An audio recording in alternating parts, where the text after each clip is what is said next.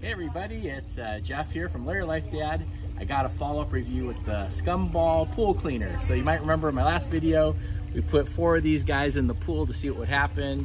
Uh, you can see they're pretty white colored. They're, they're clean, clear. We put them in. So this is about a week later. This is what we got.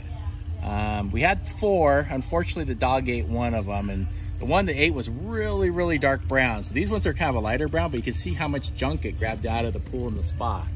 So pretty impressive. We weren't sure how it's gonna work, but we're liking what we see. And uh, so yeah, so you can kind of compare them side by side.